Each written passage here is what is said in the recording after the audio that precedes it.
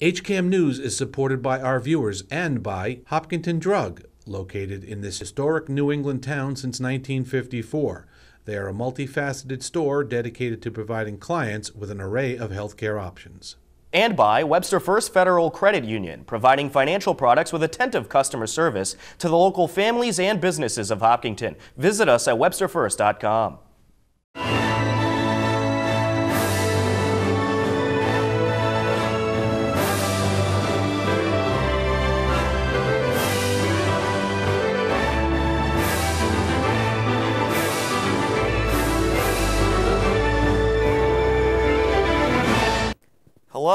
and welcome to HCAM News. Tom Nappy at the anchor desk to fill you in with the latest happenings in Hopkinton. On this edition of HCAM News, book author Patrick Kennedy presented at the Hopkinton Historical Society. We have a preview of this year's Hiller Boys lacrosse team, and Matt Clark has our HCAM Insider. But first, Boston Marathon director Dave McGillivray talked about his book release at the Hopkinton Public Library prior to this year's race. I'm sitting on the curb and I'm looking around and, you know, I'm putting my head between my legs, but feeling sorry for myself. And I said, boy, this place looks a little familiar. And then I looked behind me and there was the Evergreen Cemetery. And that's where my grandfather was buried. And that son of a gun said he would be there. Now, he wasn't there physically, but he was there spiritually. He said he'd be there waiting for me on the marathon course. He kept his end of the deal. And I thought, well, if he kept his end of the deal, I have to keep mine. And I just mustered up the strength and picked myself up and finished. Crossed the finish line, it took me four and a half hours. And I finished in 1973. And on that day, as an 18 year old, I said I was going to run this race every year for the rest of my life and honor and tribute the lesson that my grandfather taught me about earning the right to do these things. And now I'm 63, and I've run it every year since, and Monday will be my 46th consecutive Boston Marathon.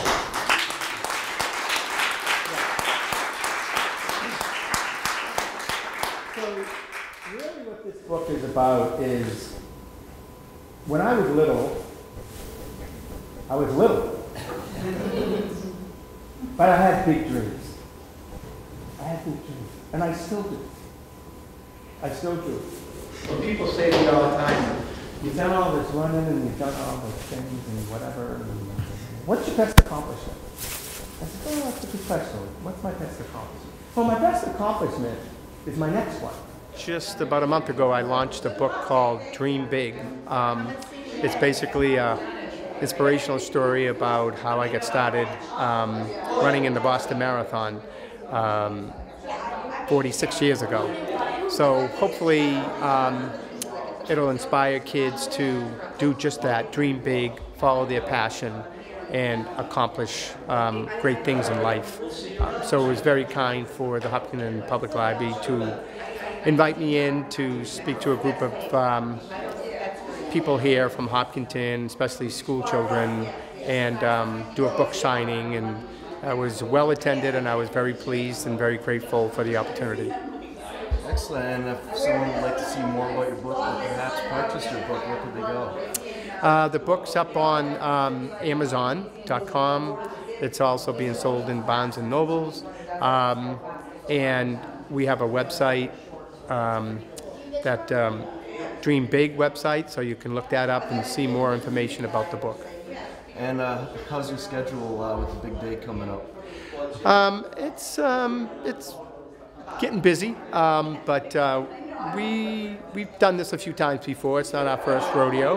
Um, I think uh, the only thing, obviously, that's um, sort of challenging us right now is just the forecast and you know what it's going to end up being and how we need to prepare for that and um, how we need to communicate to all the participants about what it might be and how to take personal responsibility for themselves. In the uh, worst case scenario, if there is thunder and lightning, uh, what will be the plan? Well, it just depends on where it is and when it is. So it's going to be a game day decision um, as to um, exactly how we'll respond to it. But uh, we have you know, contingency plans in place. And so depending on what what happens on race morning. Um, you know, we'll be able to put those in place if we need to. But hopefully, fingers crossed, uh, Mother Nature will be kind and we'll be able to get all the races off on time and get everyone safely out of Hopkinton. Despite the weather not being too warm, the 2018 high school spring sports season has started, and this past week I caught up with the Hopkinton Hillers boys lacrosse team. Will Abbott, midfield. DJ Sloan, attack. Hunter Goodrow, defense. Dan Norton, coach. Last year, the Hopkinton Hillers boys lacrosse team finished the regular season with 14 wins and 4 losses, and in the playoffs fell to Westwood to end the season 14 and 5 overall. This year, led by head coach Dan Norton and experienced captains, the Hillers are looking to take the next step in postseason play. It's been a lot of fun. We got a great group of captains, as you can see here from the guys that just spoke. Um, and I think we got a pretty deep team. Um, you know, as I said before, they're very receptive to feedback and very coachable, and and uh, we've been pushing this group pretty hard, harder than we had in previous years because they can take it, and uh, we're very excited to get going. Should be a good group. Uh, practice has been pretty good for us. We've just been focusing on working hard and coming with a good attitude every day. Uh, we're really emphasizing uh, having fun this year because I think if we have fun, we're gonna enjoy the game more and have a better time, and that'll lead to more success. Yeah, I'm just excited to play. We've had a couple weeks of practice, and I uh, think our team's ready to go. I can't wait to play tomorrow. Uh, love coming to practice. It's always a good time, and you know, defensively, we uh, make sure we're always putting in work, focusing on the fundamentals, ground balls, footwork, and all that stuff to make sure we're as consistent as we can be. Uh, we're really focusing on our fundamentals here in these early practices before we can really get into the team stuff. Uh, we're making sure that everybody can catch and throw and uh, learn our systems and everything like that. Despite the rough weather so far, the boys lacrosse team is ready to play this season. Uh, we've been lucky enough to be on the field the whole week, so can't complain. Um, as the guys said, we're just focusing on fundamentals um, because you know to, to run our systems offensively and defensively, uh, without fundamentals, we really can't get anywhere. So um, just making sure we have all all 24 guys on the same page, and uh, you know just working on some team building stuff and, and trying to have fun, like these guys said. And uh, lastly, very windy day today. How much of a conflict has the weather been? Um, I think for these guys, not so much because they're running and sweating, but us as coaches, we've been, uh, you know, a little bit cold. But, uh, you know, we can't control it, and uh, we've been just trying to control our effort and our, our fundamental work. And, you know, if we have a game like this tomorrow, it's supposed to snow, and we're going to be ready to play in it. So. I asked about what some of the goals are for the season. Uh, yeah, we have some uh, pretty ambitious goals, and but uh, really we're just gonna work our hardest every day. We're gonna be focused and have a good time. Uh, personal goals: I'd like to improve my field IQ, make sure I'm I'm the best I can be, and help out my teammates. And I also want to leave a lasting impact on the program as a whole, from youth to high school. Just to get better every day, work as a team. Just got to focus on ourselves. Can't worry about other teams, and uh, continue to improve all year.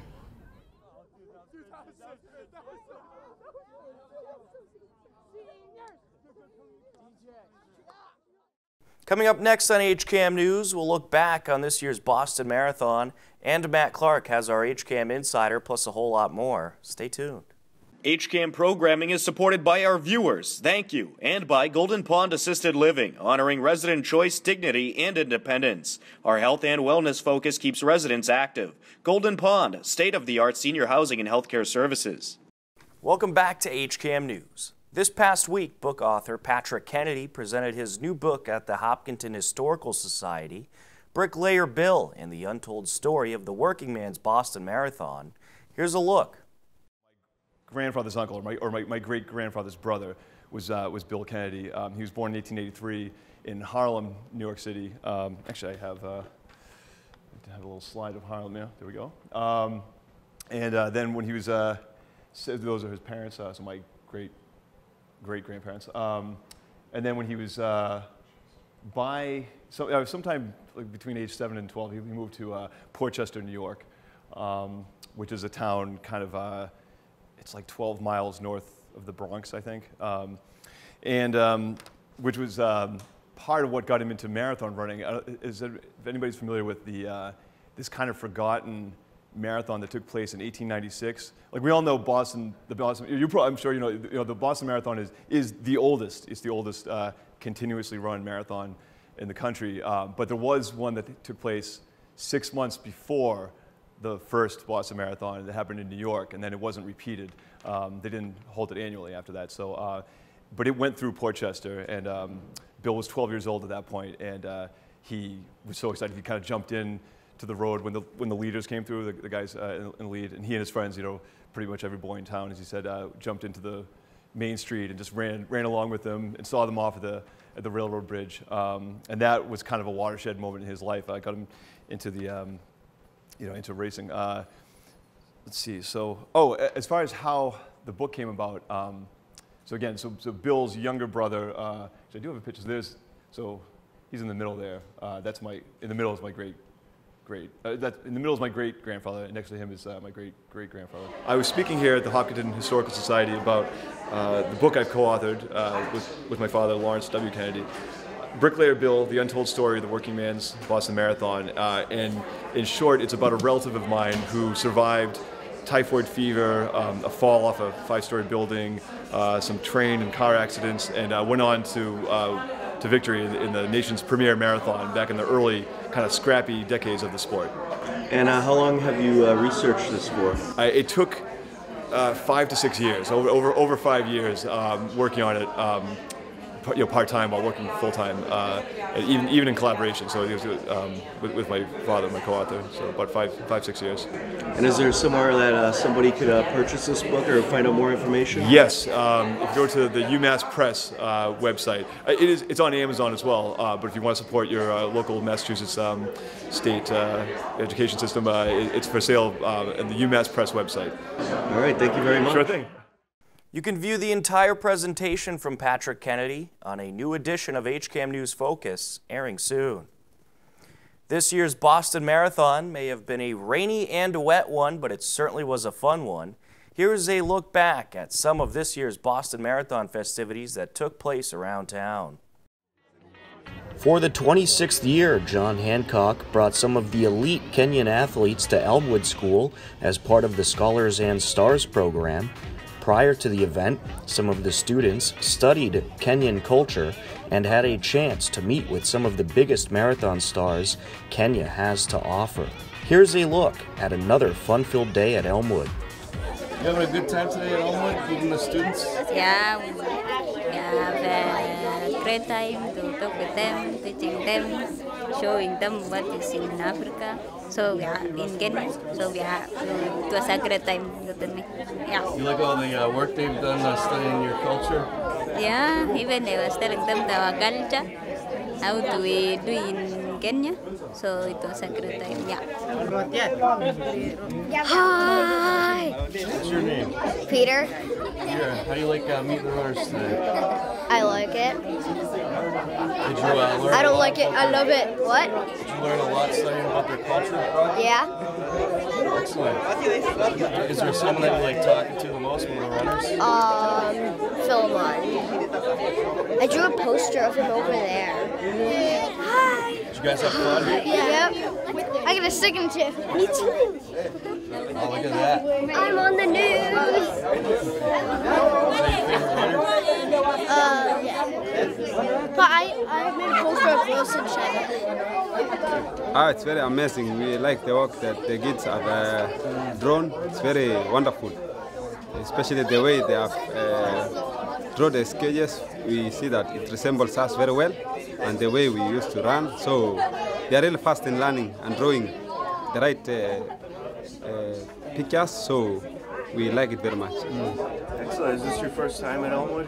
Yeah, it's very, it's our first time in Hollywood and even to the United States, so the first time. And we are very much happy that we have been invited also. We have seen many great things that uh, our welcoming people are here and very are now friendly. So we like it very much.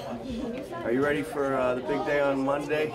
Yes, we're very much okay because we've been preparing. We had enough time there in Kenya to prepare well for this uh, big day that we have been waiting for so long. Great to be back with you. It's great to see you still hanging out here. Um, I just look at, at the excitement on their faces, and you can hear the kids behind us. Uh, for the last couple of weeks, the teachers really focus on this after they get their their tests out of the way. And I've just had a couple of conversations with the, some of the teachers, and this is just one thing that they will never forget the rest of their lives. I've talked to some of the Hopkinton track and field athletes, and they talk about how memorable this whole thing has been to them, and it has inculcated in them a love for running and, and the whole sport. So I think it benefits Hopkinton's team. And while I have a second, let me also mention that there are studies out there now that show that memory and focus are improved by running and, and good exercise. If you're a swimmer, that's fine. If you bike, that's great too. But academically, high school kids and college kids do their best among all sports teams in track and field academically. So there's something to this and it's all great for the kids here. And I can hardly hear myself think right now, Tom. You know, one inside thing to tell all your viewers is I've watched last year in particular some of the older people who have been here before, men and women, might be their second or third time at Hopkinton and running Boston.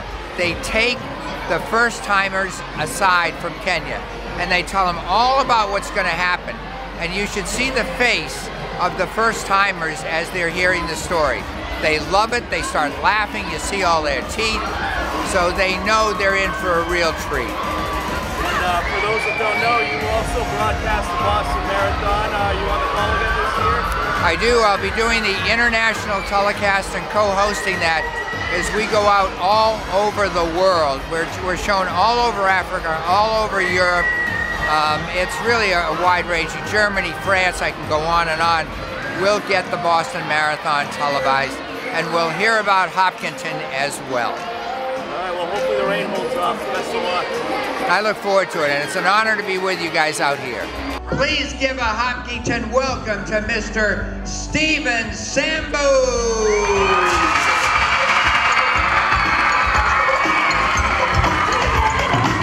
let's give an Elmwood shout out to Mr. Philemon Rono.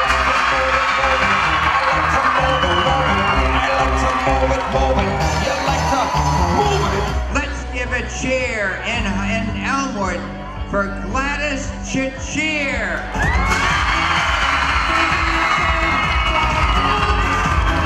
I will tell you about it and I'll show you the video that they made for me. My message is to the kids is dream big, believe in yourself, and take chances.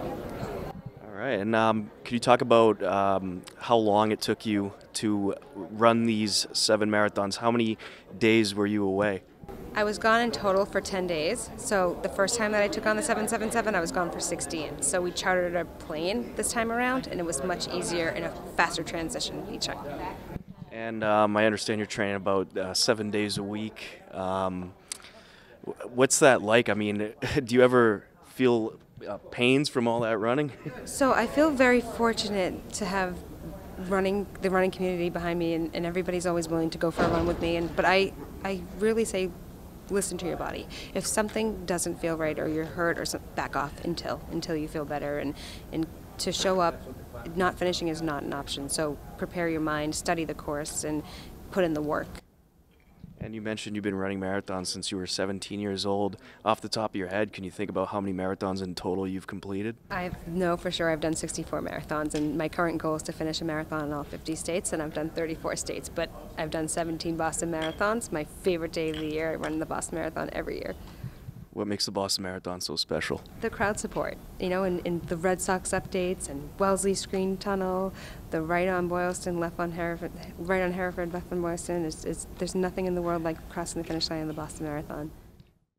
A whole lot of programming is coming up on the HCAM channels. Here to tell you all about it is Matt Clark with our HCAM Insider.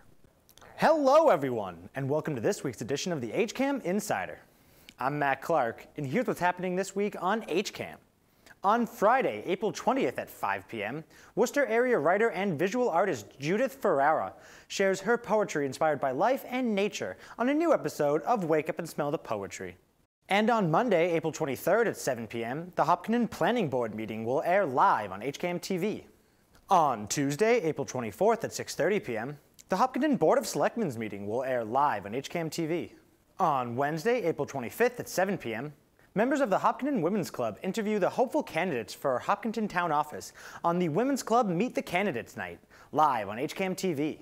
On Thursday, April 26th at 7 p.m., the Hopkinton Appropriations Committee meeting will air live on HCAM TV. And on HCAM Ed, the Hopkinton Middle School Jazz Night will air. And stay tuned for the upcoming Hillers Spring Sports season.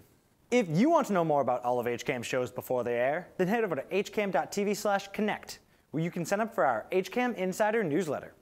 Or if you want to know more about what's happening in Hopkinton, you can sign up for our daily news updates. That's all for this week's Insider. I'm Matt Clark, and as always, thanks for watching. Back to you, Tom.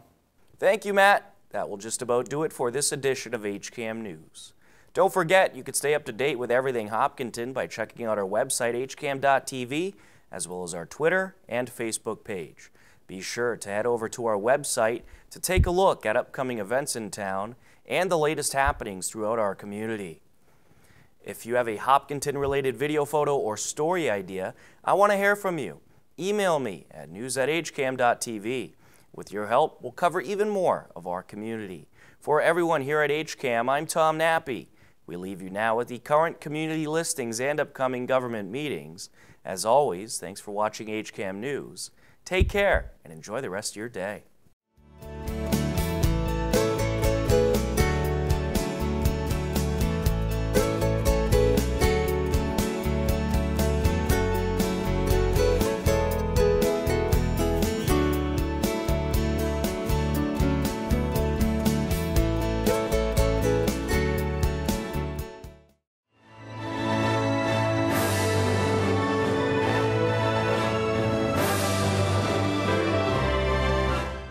It's great to see you still hanging out here. Um, I just look at, at the excitement on their faces, and you can hear the kids behind us. Uh, for the last couple of weeks, the teachers really focus on this after they get their their tests out of the way.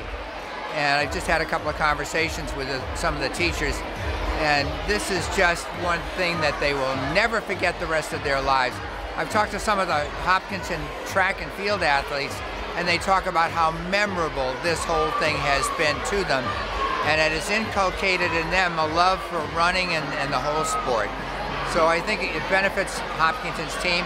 And while I have a second, let me also mention that there are studies out there now that show that memory and focus are improved by running and, and good exercise. If you're a swimmer, that's fine. If you bike, that's great too. But academically, high school kids and college kids do their best among all sports teams in track and field academically. So there's something to this. And it's all great for the kids here. And I can hardly hear myself think right now, Tom. You know, one inside thing to tell all your viewers is I've watched last year in particular some of the older people who have been here before, men and women, might be their second or third time at Hopkinton and running Boston. They take the first timers aside from Kenya and they tell them all about what's going to happen. And you should see the face of the first timers as they're hearing the story. They love it, they start laughing, you see all their teeth, so they know they're in for a real treat. And uh, for those that don't know, also broadcast the Boston Marathon. Uh, you on the call again this year? I do. I'll be doing the international telecast and co-hosting that as we go out all over the world. We're, we're shown all over Africa, all over Europe. Um, it's really a, a wide-ranging Germany, France, I can go on and on. We'll get the Boston Marathon televised, and we'll hear about Hopkinton as well. All right, well, hopefully the rain off. Best of luck. I look forward to it, and it's an honor to be with you guys out here. Please give a Hopkinton welcome to Mr. Stephen Sambu.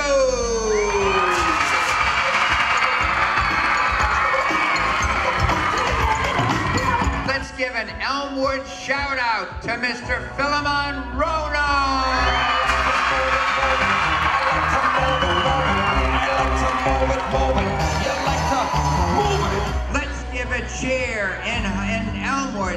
for Gladys Chesir.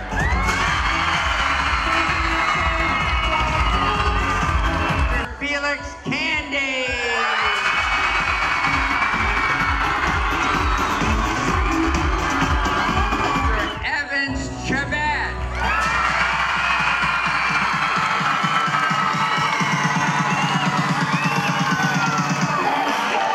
Mr. No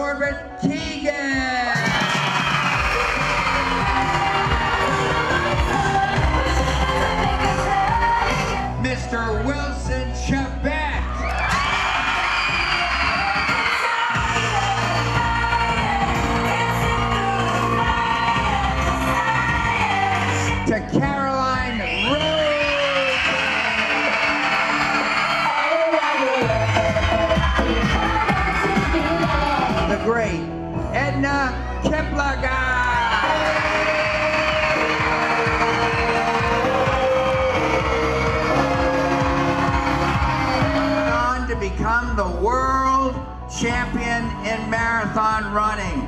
How about a great welcome here to Elmwood School for Geoffrey Kirui.